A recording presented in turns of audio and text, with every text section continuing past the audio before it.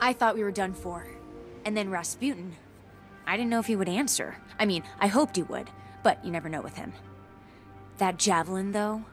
Wow, that's one hell of a confirmation.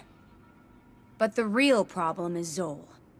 The Hive became what they are today by making dark pacts with worm gods. Xol is one of those gods. I've been talking to Zavala and he has an idea. Something that Xol won't be able to resist.